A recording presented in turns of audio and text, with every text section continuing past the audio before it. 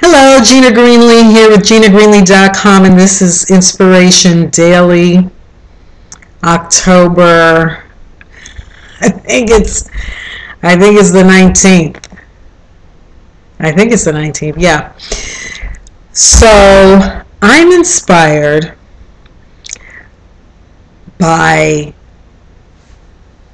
singers who take classic songs and uh, rearrange them, come up with a completely new arrangement that takes this classic song and completely they completely make it their own. And you're like and you know I, I don't I don't watch that show the, these um, singing competitions you know the voice and the X Factor.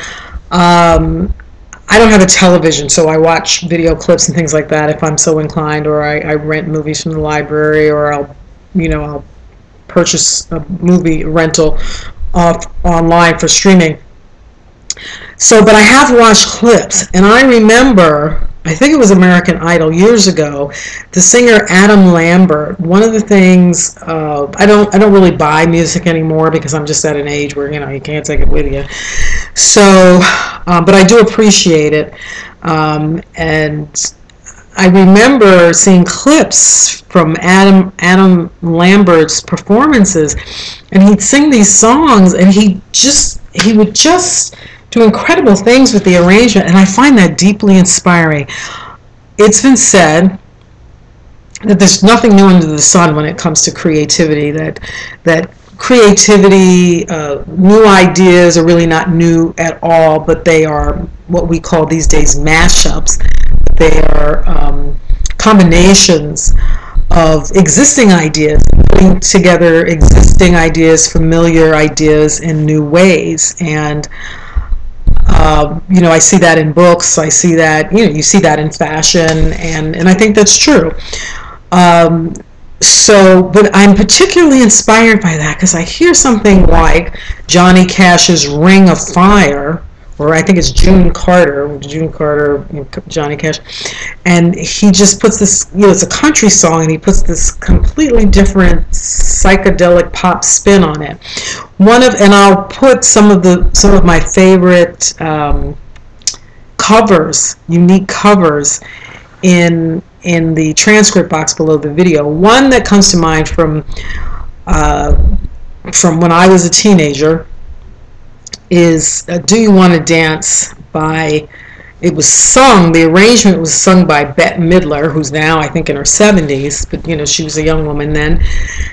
And it was a cover, it was a remake of uh, a song by Neil,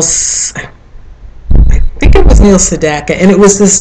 The original song was from the '50s, and it was this really upbeat thing. Do you wanna dance at home? No, it wasn't Neil Sedaka. It wasn't Neil Sedaka. I, I don't know. I'll have to. I'll put the whoever it was, and after I research in the transcript box. But it went. Do you wanna dance? Hold my hand.